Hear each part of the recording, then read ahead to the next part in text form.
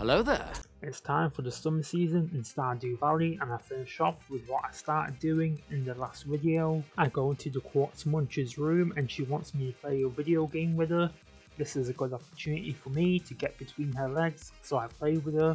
She then drops some W-Riz on me saying that I know my weight around the joystick, implying that I know my weight around my own penis. She wants me for real. I then go to Pierre's and tell him that his daughter wants to spread her legs for me and that I will beat him within an inch of his life. After some casual threats of violence, I buy some hot pepper seeds.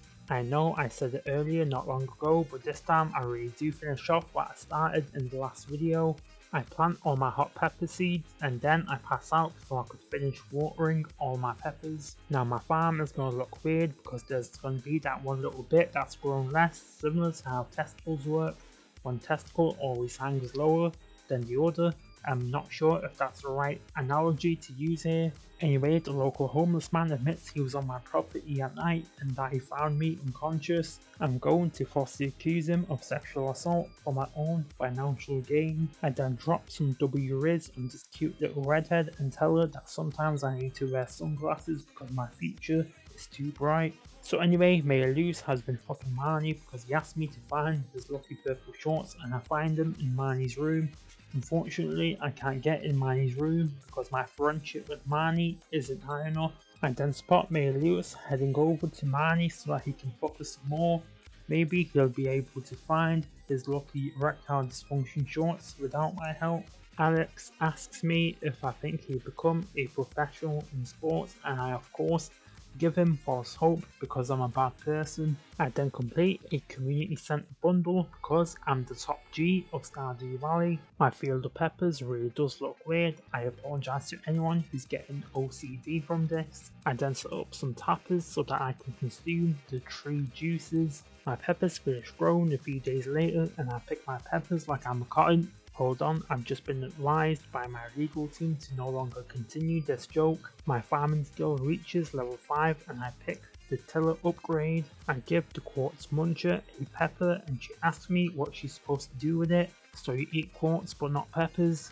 Makes about as much sense as my love life. A few days later, more peppers have grown and I obviously pick my peppers. What else do you expect me to do with grown peppers?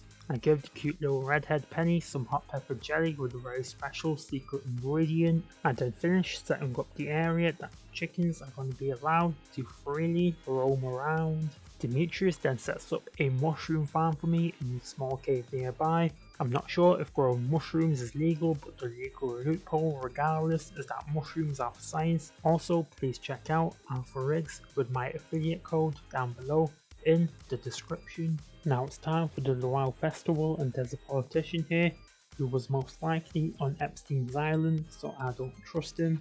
Anyway, the soup is made, the first batch of mushrooms are done. Next thing that we're gonna do is start cooking meth out of an old RV.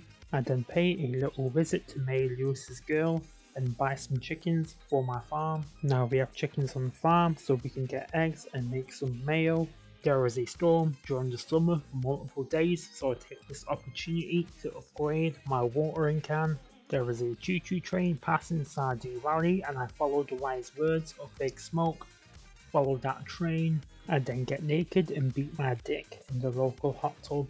The following day I find a wizard making crystal meth and I agree not to snitch on him as long as he agrees to admit that he's a sex offender.